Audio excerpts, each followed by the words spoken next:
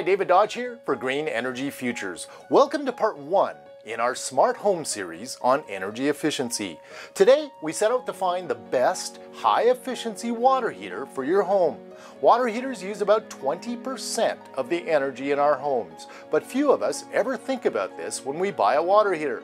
We enlisted Ken McCullough of Think Mechanical to help us compare and ultimately buy and install a super energy efficient water heater. It's a device that's going to constantly be drawing on that energy. So it's important to know that you have the highest efficiency that you can possibly have.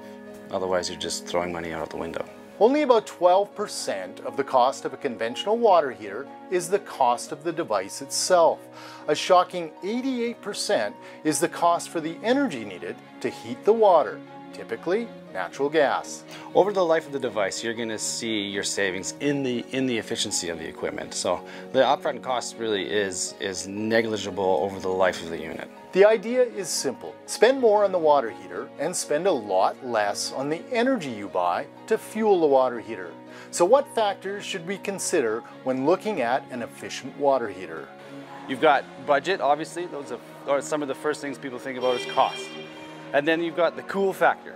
Are people willing to accept new technologies? How far are you willing to go with your choices? And then you've got energy efficiency, uh, which you know range from 60% all the way up to 300%. And then you've got cost. How much is it going to cost you to operate that unit over the life of the unit?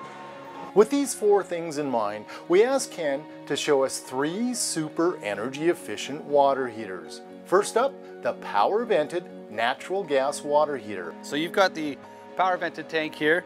This is not a high efficient power vented tank, but this they look exactly the same. There's no difference in how they physically look. This one, uh, it's a two pipe, so you'll be drawing air in from outside and, and instead of using the, whole, the air in your home to in your combustion cycle. Uh, the advantage of this one is that it's uh, slightly higher efficient and it's got a high recovery rate. Some of these tanks have up to 80% of the first hour recovery rate. So if you use it up in the first hour, it's gonna recover 80% of the tank. Second up, the tankless on-demand natural gas water heater. Now you've got the tankless hot water heaters. These are super high efficient. These are the highest efficiency as far as natural gas burning hot water heaters go.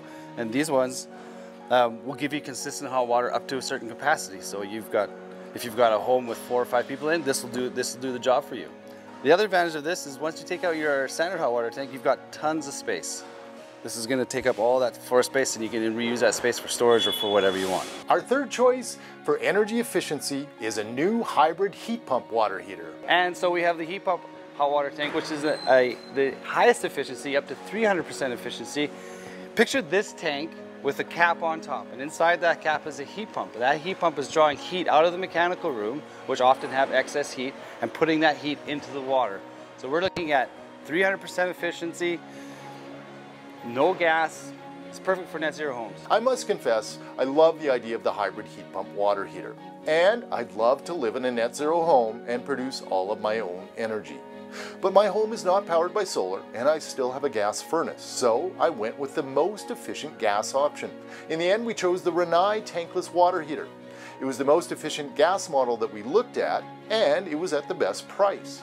Ken says tankless water heaters and the new hybrid heat pump tanks are being chosen mostly by early adopters keen on energy efficiency.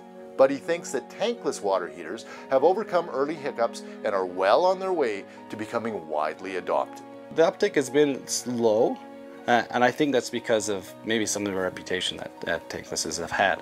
But I think as uh, I'd say in the next year or two years, uh, they're just going to be a normal part of a new home installation. In case you're wondering, there are a few ways of heating water that we didn't include in our analysis. A lot of people ask us about solar heating. And we never really recommend solar heating for residential homes, just for domestic hot water, because the cost payback isn't going to be there. The only time I, I, we recommend solar heating is on a pool or on a, on a commercial building that has a high volume of uh, domestic water use. Well, there you have it. To summarize, the price of our tankless water heater was the lowest of the high efficiency options that we looked at, and when combined with the Alberta Energy Efficiency Rebate, it made it easy to invest in a super energy efficient water heater. My family experienced a bit of a learning curve using the new tankless water heater, but we love this water heater already. If you're not comfortable being an early adopter, the high efficiency power vented tank might be just the thing for you. Or if you're all in on energy efficiency and you're building a solar powered net zero home with no gas line, then the new hybrid electric heat pump water heater might be just the thing for you and it was by far the most efficient water heater we looked at. There are many different choices for water heaters. We chose these three to highlight three different options for high energy efficiency. You may get better pricing, but our choices are based on actual quotes in Canadian dollars. Our tankless water heater costs $3,700, but with a rebate factored in, we expect to save about $2,000 over the life of the water heater. Want to learn more? Check out our blog, podcast, and photos at If you like this video, please subscribe to our channel and check out our other videos. Stay tuned for part two in our Smart Home series. For Green Energy Futures, I'm David Dodge. We chose the tankless water heater for our conventional home with a gas line. But if you want to see how the super energy efficient hybrid heat pump water heater is used in a solar powered net zero home, check out our story on the most affordable net zero home in Canada.